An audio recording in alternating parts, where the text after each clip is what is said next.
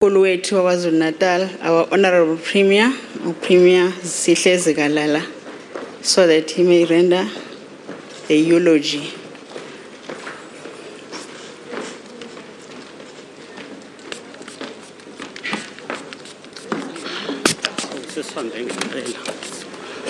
Thanks, we may be seated.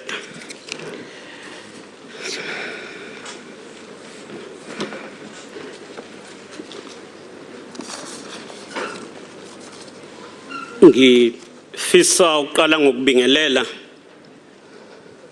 kwabasiphathele uhlelo MEC unkonyeni nomntwana hlakanipho Zulu. Ngibingelele ngokukhulu ukuzithoba kwindlunkulu yonke kaZulu. Omama besilo amazinyane esilo wonke omne wabo nodade wabo besilo nabo bonke basendlunkulu. Ngibingelele indlunkulu yonke yaseswatini kwangwane. Iholwa umntana enkosi uGoduza siyabingelela. Former president wezwe baba former president Jacob Zuma Nxamalala your highness prince Buthelezi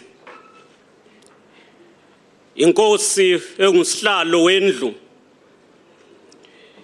yamakhosi lapha kwaZulu Natal ngubonduna inkosi uchiliza ngifisa futhi ukubingelela bonke ubukhosi nezizwe zonke ezikhona kuhlukene ngokwezizwe ezisambele namuhla. Cela ukubingelela with respect ungqongqoshe unkosazana Dlamini Zuma nabo bonke ominister esinabo namuhla abasingathile. Ngibingelele OMEC bonke abakhona ngokunjalo nosomlomo wakwaZulu Natal umama uNontembeko Boys. District Mayor osiphathele lomkhandlu walapha eZululand Shenge. Ngokunjalo nomeya bonke abakhona namakhansela onke akhona abaphathi kubasebenzi bakahulumeni Director General Dr Mkhize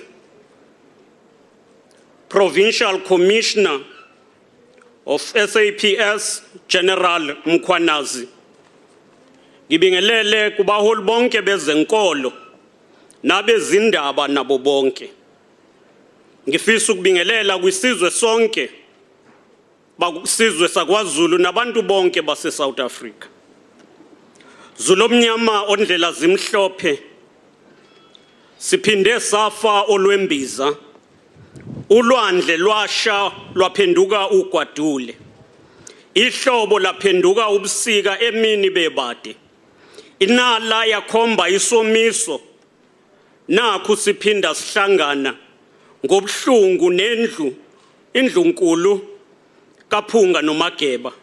Enkonzweni yesikhumbuzo sendlovukazi umntana enkosi singuhulumeni walapha kwaZulu Natal siyafisa ukuzwelana nendlunkulu yethu.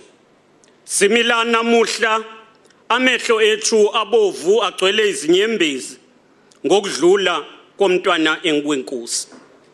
Sidlulisa ukubonga esizweni sonke sase South Africa nabantu bonke bakwaZulu Natal ngokuxhasa nokududuza indlunkulu ngalesi sikhathi igumbezelwe lelifu elimnyama.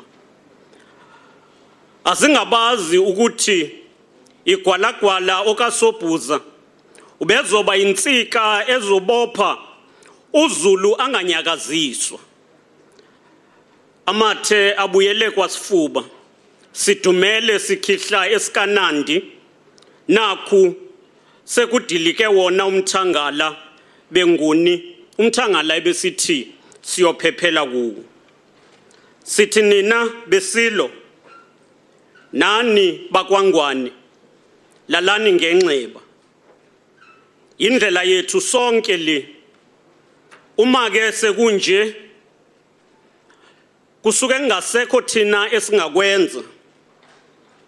Kepha ukuba sihloniphe ngendlela eyiyo uma sesilapha ihubo linye esingaluhuba yihubo lokuweza abanqobi asebenqobe iliba ithuna. Ngakho sithi wela gwalagwala wela samkethi wela sidlubula dledle sikalombamba lesithi sipha sibe sibadlubulisa. Compatriots since we received the tragic news that our regent queen has taken a final breath has gone to join her ancestors and our beloved king we have been comforted by the outpouring of love and messages of condolences. While her majesty's demise was too sudden and occurring while the royal family was still mourning the passing away of Isilo Samabandla Onke. We have been consoled by the heart, uh, heartfelt testimonies revealing that Her Majesty touched countless people. She will be fondly missed for her humility, compassion, and kind deeds. Although of royal blood and married to our departed king, Umtanenkosi carried herself with quite dignity and respect. Our beloved king respected commoners in the same manner that she accorded respect to royalty, presidents, and superstars. She represented the Emaswati nation and the Amazulu nation with grace and distinction. She lived by our people's philosophy that umuntu ngumuntu ngabantu. Everyone or everybody is somebody. Akekho okumele abukelwe phansi. She touched the life of young girls. And today we said young girls were fortunate to meet and interact with her possess fond memories of fun, fine, loving African queen. Community development and women empowerment was Her Majesty's passion. The Queen was tireless in raising funds to uplift the less fortunate and to contribute to the well being of orphans. It troubled her to know that there are families who struggle to buy school uniform and that we had children who had to walk to schools without shoes. Brought up as a Christian, Her Majesty earlier reconciled her Christian life with African spi- spirituality. Many of those who benefited from her charitable work will not grab headlines because she was not competing for spotlight. Her Majesty the Queen, the Queen was deeply rooted in the culture of Ubunguni people and was always a weapon that empowers culturally and, uh, uh, and ensures social cohesion and economic emancipation. Our regent queen is credited for working jointly with Isilo Samabandla in the 80s in reviving Umkhosi Womhlanga and Red Dance. The passing away of Indlovukazi kusikhumbuza ukuthi omama baneqhaza abakwaziyo ukulibamba esizweni. Siyafisa ukutsho ukuthi asingabazi ukuthi isilo samabandla uma sithi indlovukazi umntana enkosi makube nguye oyibamba sasingasukeli nje ekutheni sibona ngokwaso kodwa kungenxa yokuappreciate nokubonga ubuholi babantu besifazane. Futhi siyazi ukuthi ubhejane ephuma esiqiwini wayekwenza lokhu azi ukuthi indlovukazi izoba namandla okwenza kodwa futhi wayithembe kakhulu ukuthi indlunkulu yonke iyawumeseka ubayede ube isibonelo ngokudemonstrator ngezenzo ukuthi iSouth Africa ingakwazi ukwakha izwe elilinganayo. La abantu besifazane nabesilisa bethathwa ngokulingana noma kusemasontweni kukuhulumeni noma kukhulunywa ngobukhosi imbala. Kodwa ke yena yedwa siyazi ukuthi emlandweni wezizwe ezikhona baningi ababe neqhaza besifazane. Siyazi ukuthi umlando uyasitshena ukuthi umntwana umkabayi kajama wabamba wasibamba isizwe sikaZulu sathula sathi ngokunjalo uQueen Nandi wakuvela wavelela ngobuholi bakhe esizweni. Siyazi futhi ukuthi uQueen Labotsibeni of Eswatini naye ngokunjalo wake wabamba ubukhosi wanika ubuholi obungangatshazwanga futhi obathenjwa. Emkhakheni yonke ehlukene yempilo kumele siqonde ukuthi umuntu nomuntu irrespective of ibala noma ubulili bakhe kodwa uma ewumuntu anganika ubuholi obufanele. Uma besingabonela kubuholi besilo samabandla esikwaze ukusikhombisa ukuthi kumele siqede ukubandlululana besingakwazi ukuqeda lolu dlame olungaka olubhekiswe kubantu besifazane. The scourge of gender based violence and the disempowerment of women is a stain on our hard won freedom. We have no doubt that in her new role as a regent queen she would have led from the forefront the war on rooting out this despicable and shameful crime.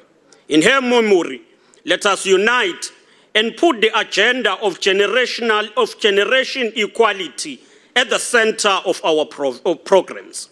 As the province of KwaZulu-Natal, we will continue to promote the skilling of women and monitor the implementation of our policies on set aside for women-owned entrepreneurs. Bakwethu, isizwe sikaZulu siyahlonishwa umhlaba wonke.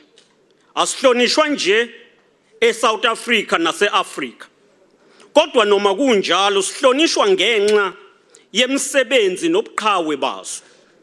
Isizwe sakhiwa ngokuthi abantu abayingxenye yesizwe bakwazi ukuziphatha ngenhlonipho idiscipline. Bakwazi futhi ukuzigqaja ngamasiko abo nemvelaphi yabo. Yingakho namuhla sihlonipha wonke amakhosi akwaZulu. Kusukela kwinkosi uNdaba uShaka kaShayeki inkosi uDingane inkosi uMpande inkosi uCetshwayo nenkosi ebisiphethe isilo samabandla. Bonke babe nomlando omkhulu. Isilo sam isizwe samaZulu singesho ukuthi abantu abamazulu baphila into eyodwa benze into eyodwa. Kodwa kuyiqiniso bayazigqaja ngokuba ingxenye yesizwe samaZulu. Okubaluleke kakhulu ukuthi lo mlando walesizwe okhanda uhlonishwe umhlaba wonke isizwe sihlonishwe umhlaba wonke ungafadabali ngesikhathi sethu. Isizwe sakhiwa ngobunye nobuholi obuqotho. Ingakho sithi no matter inkinga esibhekene nazo esizweni zingakanani isixazululo sazo ukuzixazulula ngokuxoxisana nangokuthula ukuzixazulula ngokubambisana. Isithunzi sendlunkulu sibaluleke kakhulu kwisizwe nokuzigqaja kwethu njengesizwe. Ingakho sithi noma kunjani kubalekile ukuthi indlunkulu ikwazi ukunikezela ubuholi obuhambisana nalobo obuqotho obuletha ubumbano. No nation ever develop or advance itself without leadership. Unity discipline and hard work is at the center of development of any nation. What we regard as our identity and culture today are product of our of hard work and unity in the Zulu nation.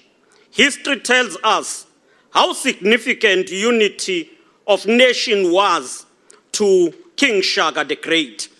It is for this reason that in this province we will still commemorate umkhosi welembe nanamuhla kungenxa yokuthi ilembe lahola ukubumba isizwe lakha ukusizwe esihlangene and therefore we cannot overemphasize the importance of unity among the Zulu nation our nation must transcend and we also understand and quite remember the role that was played by the royal house in quelling violence that engulfed KwaZulu-Natal. Indlunkulu yadlala iqhaza elikhulu ekuletheni ukuthula phakathi kwamaqembu ezepolitika ayingaboni ngasolinye. And again, we look to the royal to the Zulu royal family to be united so that it can also succeed in uniting the people of KwaZulu-Natal. In fighting within the royal family has the potential to divide the Zulu nation along factions and groupings, which will then delay development, but most importantly, undermine the stature of the, Zulu, of the Zulu nation in the country, the continent, and the world. The departure of Her Majesty the Queen, called colon Amazulu nation, which she served with great dedication to unite. It is a moment that called for peace, reflection, and healing of wounds. As the provincial government, we have a keen interest in seeing the royal family speak in one voice and continuing to lead us as Her Majesty Queen Mantombi and His Majesty King Goodwill Kapeguzulu would have wished. We have no doubt that the entire Zulu royal family will provide the, the required leadership. It has been known for centuries. Kulesi sikhathi sithi ndlovukazi mayiphumule kahle. Kuthina sonke masiduduzeke. Wena wendlovu. Wena wendlovu. Bayete. Bayete. Louvgasse.